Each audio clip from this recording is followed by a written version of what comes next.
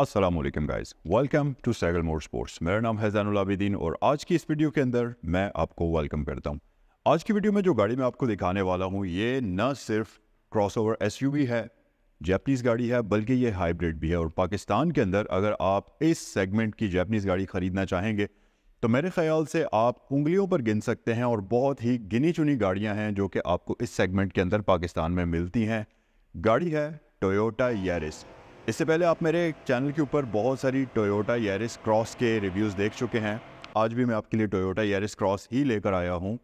लेकिन इससे पहले जो मेरे चैनल के ऊपर आपने वीडियोस देखी हैं, वो नॉन हाइब्रिड वेरिएंट्स होते थे यारिस क्रॉस के। लेकिन आज की वीडियो में मैं आपके लिए जो यारिस क्रॉस लेकर आया हूँ, ये है यारिस क्रॉस हाइब्रिड अब इस गाड़ी की दो खास बातें हैं। पहली बात तो ये कि ये गाड़ी आती है 1500 सीसी इंजन के साथ, जो कि नॉन टर्बोचार्ज इंजन होता है, जिसकी वजह से इंजन ज़्यादा रिलायबल समझा जाता है। जितने भी टर्बोचार्ज इंजन आते हैं, वो रिलायबिलिटी के मामले में थोड़े से इतने ज़्यादा बेहतर नहीं समझे जाते। बट नॉन टर्बोचार्ज इंजन को आप जैसे मर्ज़ी, जो मर्ज़ी फ्यूल डालकर चलाएँ, कोई भी प्रॉब्लम नहीं होता।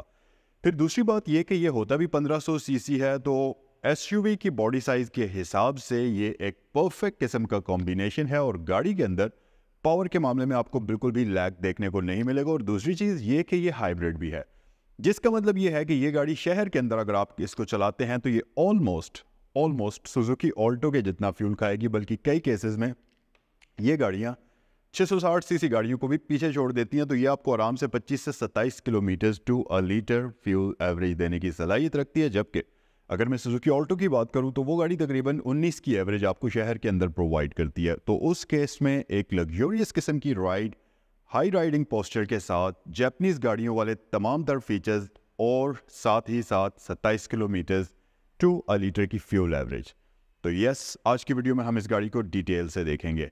अब हम आ जाते हैं सबसे पहले गाड़ी के मॉडल की तरफ़, गाड़ी की स्पेक्स की तरफ़ प्राइस की तरफ़, ताकि आपको थोड़ी सी बेसिक इन्फॉर्मेशन मिल जाए। 2020 मॉडल टोयोटा यारिस क्रॉस है ये हाइब्रिड वेरिएंट इस्लामाबाद रजिस्टर्ड है। और अगर माइलेज की बात करते चलें तो ये गाड़ी चली हुई है 61,000 किलोमीटर्स और 9.3 मिलियन इस गाड़ी की आस्किंग प्राइस यहाँ पर की जा रही है यानी कि तिरानवे लाख रुपए। तो अगर आप में से कोई भी बंदा एक Japanese S crossovers के अंदर हाइब्रिड गाड़ी ढूंढ रहा है और आपको लगता है कि भाई जैपनीज़ गाड़ियाँ क्वालिटी वाइज थोड़ा सा पाकिस्तानी या जो लोकल मैन्युफैक्चर्ड गाड़ियाँ होती हैं या कोई भी दूसरे ब्रांड्स जो पाकिस्तान में आ रहे हैं, उनसे बेहतर क्वालिटी प्रोवाइड करती है राइडिंग एक्सपीरियंस ज़्यादा मज़े का होता है तो ये गाड़ी आपके लिए यहाँ पर अवेलेबल है। वीडियो के स्टार्ट में मैंने आपको बताया था कि पाकिस्तान के अंदर ये वेरिएंट्स बहुत कम है। येस ये बात बिल्कुल सच है, क्योंकि पाकिस्तान के अंदर जो यारिस आपको मिलेगी क्रॉस वो नॉन हाइब्रिड वेरिएंट मिलेगा जबकि ये हाइब्रिड वाली गाड़ी है। सो so, चलें रिव्यू को स्टार्ट करते हैं और सबसे पहले हम बात करते हैं इस गाड़ी की की की। सो so, हमारे पास एक रिमोट की आती है ब्लैक कलर के अंदर। बिल्कुल बेसिक सी टोयोटा की की है प्राडोज के साथ भी आपको ऐसी ही मिलती है हाईलेक्स के साथ भी आपको ऐसी ही मिलती है और कई केसेस में लैंड क्रूज़र के साथ भी आपको ऐसी ही कीज़ ऐसी ही कीज़ मिलती हैं। सिर्फ़ पर क्या होता है कि थोड़ा सा कॉस्मेटिक्स डिफरेंस होते हैं। बाकी शेप की की ओवरऑल यही होती है। लॉक अनलॉक के बटन के साथ आपको टोयोटा का बैच कहाँ पर मिलेगा? दूसरी तरफ़ की की बिल्कुल फ्लैट है और साथ ही साथ एक फीचर इसमें और भी है वो ये कि जब आप इसका यहाँ से बटन क्लिक करते हैं तो आप इसकी चाबी को मैनुअल तरीके से भी निकाल कर यूज़ कर सकते हैं, जिसकी वजह से आप अगर कभी भी चाबी की बैटरी लो हो जाए या गाड़ी की बैटरी डेड हो जाए तो आप गाड़ी को एटलीस्ट लॉक और अनलॉक तो कर ही सकते हैं। अब बेसिकली ये फीचर उस केस में ज़्यादा काम आता है कि अगर आपकी गाड़ी के पास अंदर जंप स्टार्टर किट आपने रखा हुआ है और ऑब्वियसली गाड़ी लॉक है तो चाबी से तो आप ओपन कर नहीं सकते क्योंकि गाड़ी की बैटरी डेड होगी वो चाबी को डिटेक्ट ही नहीं करेगी। तो उस केस में आप मैन्युअली गाड़ी को अनलॉक करें जंप स्टार्टर से गाड़ी को स्टार्ट करें। So you are good to go अब हम गाड़ी के एक्सटीरियर की बात करते हैं, लेकिन एक्सटीरियर के बारे में बोलने से पहले मैं इस गाड़ी की लाइट्स ऑन करता हूँ, इसे स्टार्ट कर लेता हूँ हैजत लाइट स्विच ऑन करता हूँ। ताकि आपको इसकी फ्रंट लुक का बेहतर आइडिया हो सके। एक और चीज़ आप देखिएगा, जब आप गाड़ी को लॉक करते हैं, इसमें से एक बीप आती है। जैपनीज़ गाड़ियों में ज़्यादातर जो गाड़ियाँ भी आप लेंगे जैपनीज़ गाड़ियों के अंदर ऐसी ही लॉक अनलॉक करते हुए बीप आती है। जब आप गाड़ी को अनलॉक करेंगे तो ये दो बार बीप देगी। इस तरीके से, जब आप गाड़ी को लॉक करेंगे तो ये एक बार बीप देगी। इस तरीके से। अच्छा ये हमारे पास इसके इंडिकेटर्स हैं वर्टिकल शेप में और जैसे ही आप गाड़ी को अनलॉक करते हैं, इसके ये साइड मिरर्स ओपन हो जाते हैं सो रिट्रैक्टेबल मिरर्स इस गाड़ी के अंदर आपको दिए जाते हैं। उसके अलावा चलें, इसे हम जल्दी से स्टार्ट करते हैं और इसकी लाइट्स को कर लेते हैं ऑन ओके गाइस सो मैंने इसकी लाइट्स को ऑन कर लिया है और आप देखेंगे कि इस गाड़ी की लाइट्स के अंदर आपको लो बीम और हाई बीम के लिए एक ही प्रोजेक्टर लैंप मिलता है, जिसके अंदर लो और हाई बीम दोनों ही शामिल होती हैं। अच्छा जितनी भी हाई एंड गाड़ियाँ आती हैं, उनकी लाइट्स थोड़ी सी एडवांस होती हैं नॉर्मल गाड़ियों से। ऑटो होती हैं। पहला फीचर ये होता है कि वो ऑटो होती हैं। ऑटो का मतलब ये है कि गाड़ी बाहर की रोशनी को सेंस करते हुए लाइट्स को ऑन भी करेगी और ऑफ़ भी करेगी, इसमें वो फीचर भी मौजूद है। दूसरा फीचर होता है ऑटो हाई बीम असिस्ट का, यानी कि गाड़ी अगर आप हाई बीम पे ऊपर चला रहे हैं तो गाड़ी सामने से आने वाली ट्रैफ़िक की लाइट्स को डिटेक्ट करेगी। और ऑटोमेटिकली लो बीम पर शिफ्ट हो जाएगी। और जैसे ही सामने से आने वाली गाड़ी गुजर जाएगी, इसकी लाइट दोबारा हाई बीम पर शिफ्ट हो जाएगी। ये एक बड़ा ही एडवांस किस्म का फीचर है जो कि इस गाड़ी के अंदर आपको दिया जाता है। तीसरी चीज़, इसमें आपको एडजस्टमेंट या लेवलिंग भी दी जाती है। तो अगर आपको लगता है कि आपकी लो बीम बहुत ज़्यादा लो है या लो बीम बहुत ज़्यादा हाई है तो आप उसको भी अपनी मर्ज़ी के मुताबिक एडजस्ट कर सकते हैं। उसके लिए इंटीरियर के अंदर आपको बटन्स दिए जाते हैं। ओवरऑल इस गाड़ी की लाइट्स की जो शेप है, ये काफ़ी खूबसूरत है, काफ़ी सिलीक डिज़ाइन है फ्रंट साइड से और सबसे मेन चीज़ ये कि गाड़ी की लाइट्स के अंदर आपको एक ब्लैक एक्सेंट मिलता है, जो कि काफ़ी मज़ेदार है।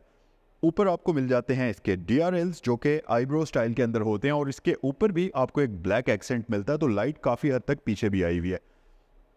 इसके साथ साथ यहाँ पर अंदर आपको एक फेक लैंप टाइप चीज़ मिलती है, जो कि एक्चुअल में लैंप नहीं है। क्योंकि इसका लो बीम और हाई बीम यहाँ पर ही है। लेकिन अगर आप लाइट्स को यहाँ से खड़े होकर देखेंगे तो आपको नज़र आएगा कि इसके अंदर दो लैंप्स आपको मिलेंगे। बट एक लैंप फेक है, वो जस्ट स्टाइलिंग के लिए दिया हुआ है ताकि गाड़ी की लुक्स और भी ज़्यादा प्यारी हो। फ्रंट साइड पर अगर डिटेल्स की बात करते चलें तो टोयोटा का बैज है क्योंकि ये हाइब्रिड गाड़ी है तो इसके अंदर आपको ब्लू कलर का कॉम्बिनेशन भी मिलता है और इसके साथ साथ ये गाड़ी फ्रंट पर सेफ्टी के लिए आपको न सिर्फ़ पार्किंग सेंसर्स ऑफ़र करती है बल्कि इसमें फ्रंट व्यू कैमरा का ऑप्शन भी आपको दिया जाता है और साथ ही साथ हमारे पास है एक बहुत बड़ी वाइड ग्रिल ऊपर भी और नीचे भी, जो कि इसके इंजन को और उसके कूलिंग सिस्टम को बेहतर तरीके से एफिशिएंट तरीके से काम करने में काफ़ी हेल्प करती है।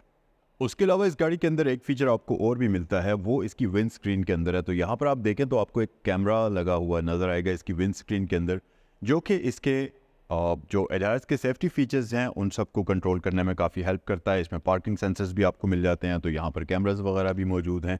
तो वो सारी चीज़ें हम गाड़ी के इंटीरियर में चलकर ज़रा डिटेल से डिस्कस करेंगे। ओके जनाब। फ्रंट के साथ साथ इस गाड़ी की साइड लुक्स भी काफ़ी खूबसूरत हैं। यहाँ पर आपको काफ़ी सारे ऐसे एलिमेंट्स मिलेंगे जिसकी वजह से ये गाड़ी ना सिर्फ़ आइडेंटिकल नज़र आती है, बल्कि आप ये भी पहचान सकते हैं कि ये किस ब्रांड की गाड़ी है, किस फैमिली से ताल्लुक़ रखती है, और वो सारी चीज़ें इस गाड़ी के अंदर आपको मिलती हैं।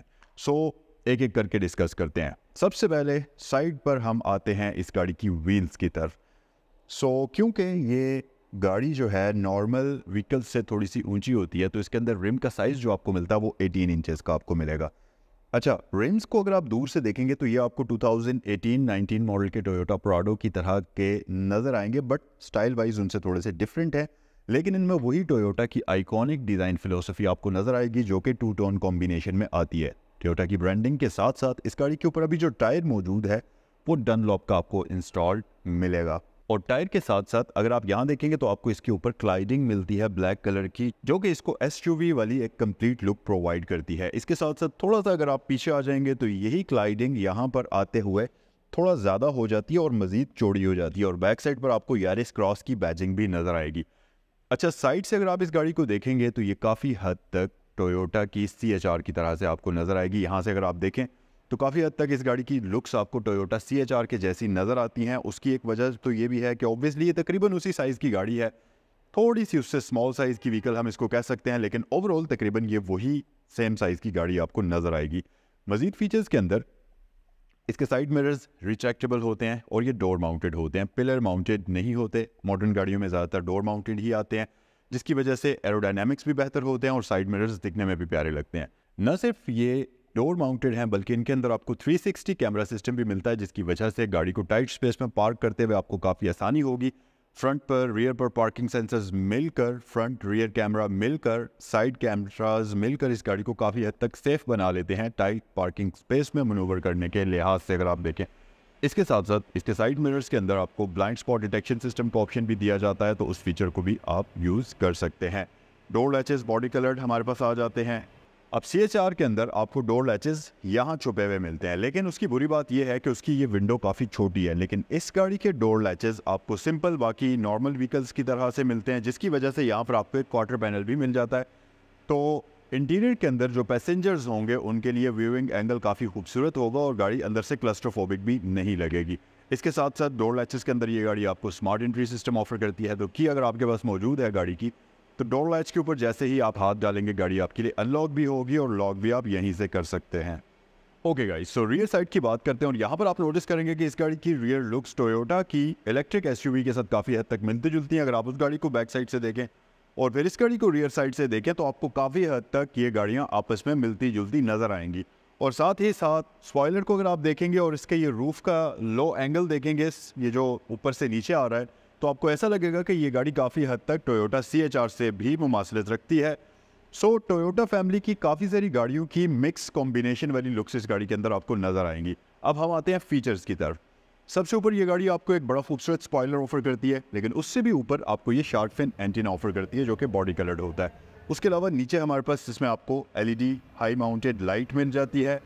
अब क्योंकि ये जैपनीज़ गाड़ी है तो रियर विंड स्क्रीन के अंदर आपको डी फॉगर मिल जाएगा वाइपर मिल जाएगा वॉशर मिल जाएगा, वो सारी चीज़ें इस गाड़ी के अंदर आपको पहले से प्री इंस्टॉल्ड मिल जाती हैं। अच्छा जिस जगह से इसकी विंड स्क्रीन ख़त्म होती है, वहाँ नीचे आपको एक और स्पॉयलर टाइप की एक एरिया मिलेगा, जो कि गाड़ी की बॉडी को मज़ीद एक्सटेंड करता है बाहर की तरफ़, और उससे आपको ऐसा नज़र आता है कि इस गाड़ी के अंदर दो स्पॉयलर आपको देखने को नज़र आएँगे। एक ऊपर मेन है दूसरा ऊपर नीचे आपको स्पॉयलर नज़र आएगा लेकिन असल में ये गाड़ी की बॉडी इस तरह से डिज़ाइन हुई हुई और बेसिकली इसका फ़ायदा ये होता है कि गाड़ी की एरोडाइनमिक्स काफ़ी बेहतर हो जाती हैं जिसकी वजह से हाई स्पीड पर गाड़ी बहुत अच्छे तरीके से हवा के अंदर फ्लोट करती भी चलती है। और ऑब्वियसली इसकी वजह से फ्यूल एफिशिएंसी भी, भी बहुत ज़्यादा फ़र्क पड़ता है क्योंकि नॉर्मली जो एस गाड़ियाँ होती हैं या हाई राइडिंग पोस्टर वाली व्हीकल्स होती हैं, वो आपको मतलब एरोडाइनमिक्स के मामले में तो ज़ीरो चीज़ें ऑफ़र करती हैं, लेकिन उस केस में इस गाड़ी के साथ टोयोटा ने काफ़ी ज़्यादा मेहनत की हुई है और वो चीज़ आप जब इस गाड़ी को रियल में देखेंगे तो आपको नज़र भी आएगी, ना सिर्फ़ फ्रंट साइड पर साइड्स में, बल्कि रियर साइड पर भी आपको वो चीज़ नज़र आएगी। इसके साथ साथ अगर आप इस गाड़ी की लाइट्स को देखेंगे तो इसके अंदर वैसे तो आपको देखने में एक पूरा इन्फिनिटी बार चलता हुआ नज़र आएगा, लेकिन एक्चुअल में जो लाइट ग्लो करती है वो यहाँ से यहाँ तक ही है बट अच्छी बात यह कि इसके अंदर